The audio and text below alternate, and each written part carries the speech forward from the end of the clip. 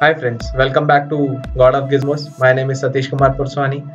Today we are going to talk about Spring Web Flux or also known as Spring Reactive or it is Reactor project as well and also known as RX Java. So there are plenty of videos and theory articles available on internet about RX Java and Reactor project. Uh, but in this video we are going to talk about this Spring Reactive in action. So basically two entities are there uh, which are most frequent, frequently used in Spring Reactor uh, Reactor project uh, that is Mono and Flux. Okay, so we are going to talk about Mono and Flux in action. So let's get started.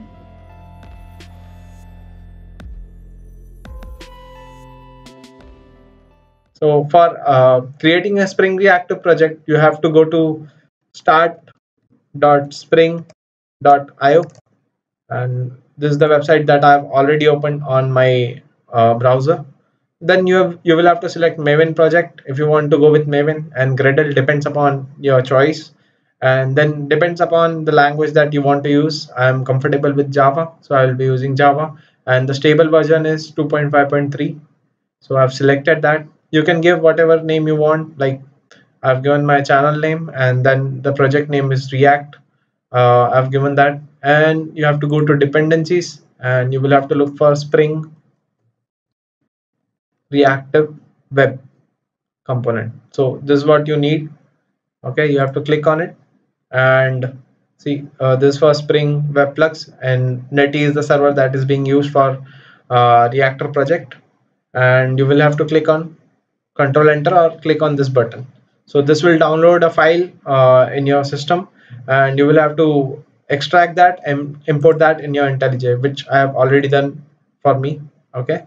Now what we will do is uh, we will start with mono first and I will tell you what is mono. So mono is basically uh, just you can say contains one object. It can be an object or it cannot be. So there are multiple ways that i'm going to tell you. So mono is just you think of like this is mono is which can contain just one object or one entity in itself. And uh, it can be like integer or string or list of objects but list is just one uh, object in itself. I will show you in action. And another is we will talk about flux which can contain multiple objects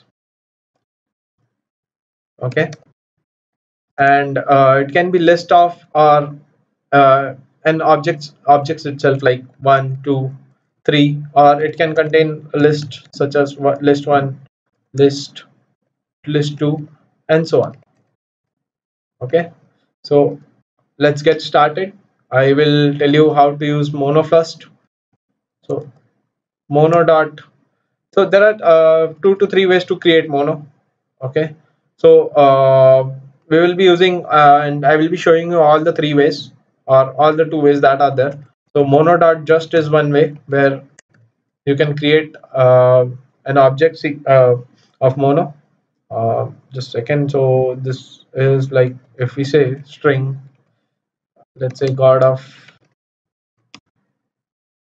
Gizmos, and we say one. Okay, this mono object of string so I will say mono of uh, god of gizmos. Okay. And you can if you want to now print this object or you want to consume so there is a subscribe in which way you can consume this object. So you can see there are overridden methods in subscribe as well. Okay uh, so uh, I hope that you have gone through uh, what is reactive before uh, coming up to this video. Okay? And I will be going with just the consumer implementation as of now. Let's say O and O dot. Let's say we are we can directly say system dot out print okay and uh, there's just one way to create a mono object. There are other ways as well. Like mono dot create you can use uh, mono dot create. And uh, mono.empty returns an empty object. So what I will do is I will try to run these uh, together. I will first write the code for you. Empty mono. Okay. And then we will subscribe empty.mono subscribe and we will try to print. Okay. Sorry that okay. Now uh, there is one more way of mono but that never returns anything. So this is called mono.never okay. And uh, I will say mono never mono. Okay. To show you the object and we will see this. And I will tell you about the differences as well of subscribe and we can say let's copy this. Okay. Now uh, we will run. Let's this out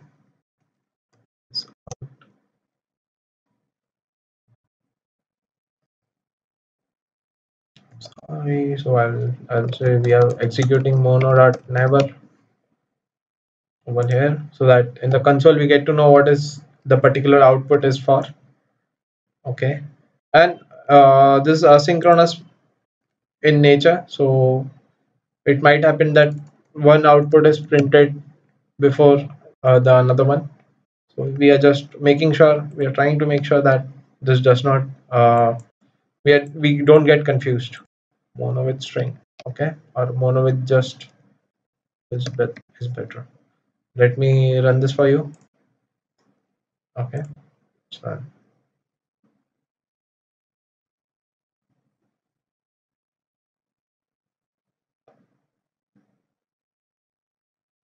so I'm running this for the first time. That's why it is taking a bit longer okay. So now you can see mono dot uh, you can see that mono dot just is printed. Okay. So after that our uh, reactor util logger has logged. Okay. And then we have god of gizmos one printed. Then we have mono dot empty which is printing nothing. Okay. It is just printing this statement which we have given mono, mono dot empty. And then there is mono dot never which again prints nothing. Because uh, we just have this statement and uh, there is nothing else printed. So you will say what is the difference then? What is the difference between mono dot empty and mono dot uh, never? Okay. So let me just uh, start the logger to enable the logging for this particular uh, like monoflux. You will have to use dot log and uh, let me comment out the first one because we have already seen the output for the first one now. Okay and we will be executing mono.empty and mono.never now let me execute this again.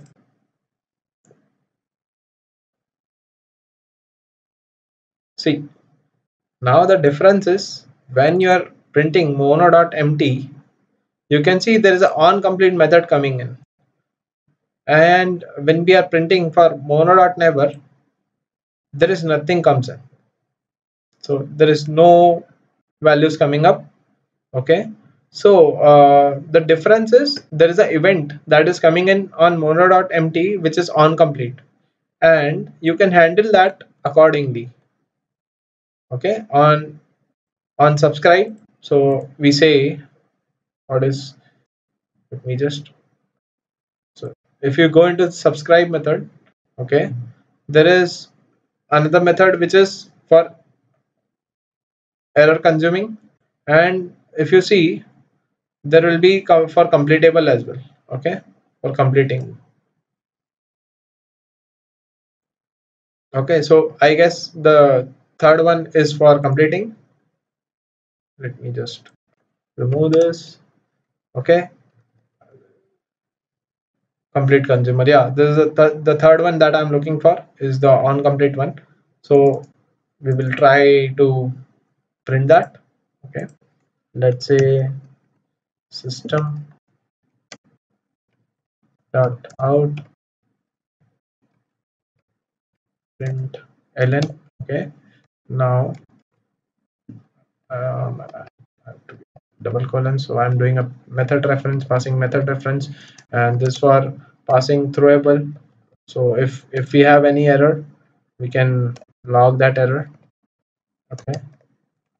Not sure. Okay. Logging is not working. So what i will do is i will print it out. I will enable the logging in my next tutorial. Okay. Now what i can do is the third object. Okay. This is my on complete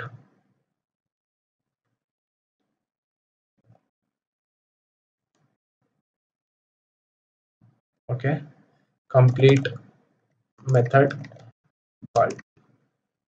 Okay what i will do is i will end this. Okay there is no error and i will copy paste this in uh, never as well so that we get to know what is going on. And this for never so that we get to know this call, getting called for never and this is getting called for empty. Okay now i will execute this again for you.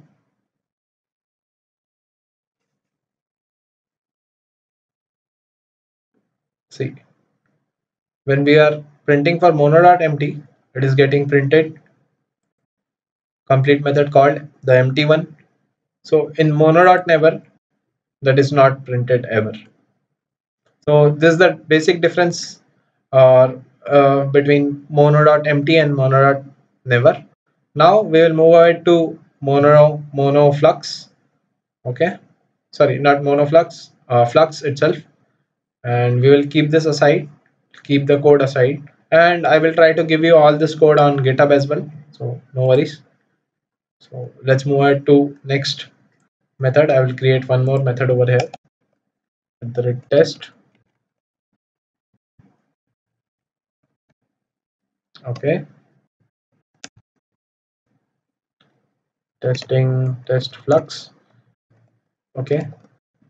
Now in mono uh, you can pass actually mono dot just and you can pass new list itself. List is a single object new array list. Okay okay? And it will work fine. Okay? But in flux you can do do in similar manner okay? Dot just. And still you will be able to do it like this by adding uh, okay? So in mono dot just you can uh, add an array list like this. And in mono in flux dot just as well you can add array list like this. But the basic difference is you can add multiple array list like this but in mono if you are going to do like that you will get an error so you can see because this contains only just one item whereas mono dot uh, flux dot just can contain multiple items.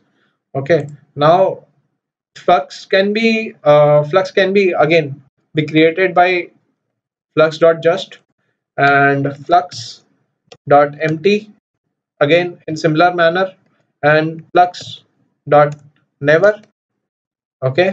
And there is one more uh, which is pretty much very much used in uh, day-to-day -day life that is flux from iterable okay?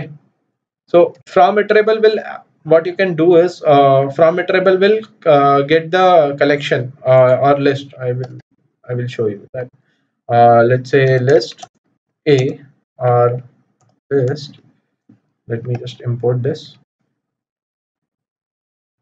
Okay and i will say arrays dot as list and I will say A I'm sorry yeah. Then B then C and you can add any more items if you want. And in the list you can add this as a list so we are aware about what mono empty does what uh, mono never does uh, in the similar manner, flux dot empty works. In a similar manner, flux dot never works. Uh, but I will. I wanted to show you about flux dot from iterable. okay flux uh, let's say list or flux of uh, words not words. Flux of uh, alphabets. Okay. Now what I will do is I will subscribe to this flux and I want to print.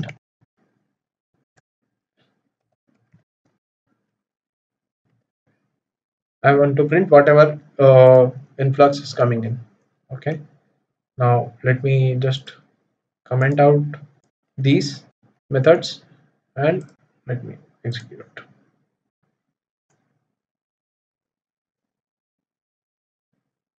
See each and every alphabet is being printed. Okay.